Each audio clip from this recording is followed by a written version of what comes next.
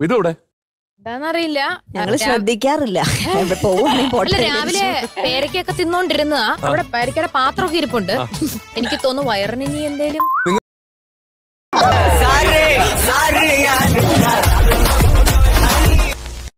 കൃത്യമായിട്ട്. പാവം ജോൽസിനെ മാത്രം ഒന്നും പറഞ്ഞില്ല കണ്ടോ?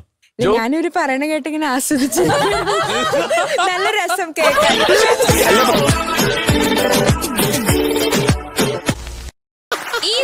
സിറ്റുവേഷൻ ഒന്ന് അവോയ്ഡ് ചെയ്യായിരുന്നു. അപ്പൊ പറയണായിരുന്നു "ദേ, അവർക്ക് എന്തെങ്കിലും ഫീൽ ചെയ്യും ഞാൻ അങ്ങനെ ചിന്തിക്കേണ്ട ഇങ്ങനെ." കാര്യമില്ല ഫാൻസ് പറഞ്ഞിട്ടാ ചെയ്തത് അഭിജിത്തിന്റെ.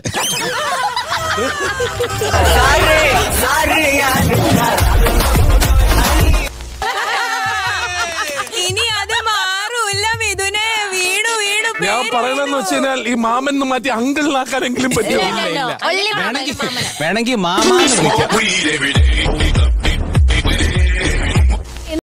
പറയുന്നു. പക്ഷെ ജൂലിയറ്റ് പറഞ്ഞ ആ കോപ്പ് അവാർഡ് ബൈ ഉണ്ടല്ലോ. ഓ. എന്ത് രസമായിരുന്നു ആ കാഡ്ബറി ക്രിസ്പല്ലോ പോലെയായിരുന്നു. അത്ര മധുരമായിരുന്നു.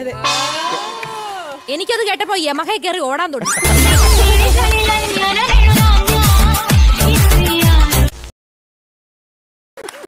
പറഞ്ഞു തീർന്നില്ല സുഹൃത്തുക്കളെ.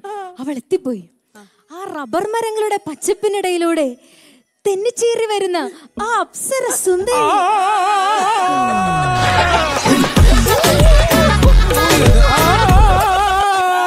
ഞാൻ പോകുന്നു പോയിട്ട് വലിയ കാര്യം ഉണ്ടായിട്ടല്ല പക്ഷെ നിക്കാൻ നേരമില്ല.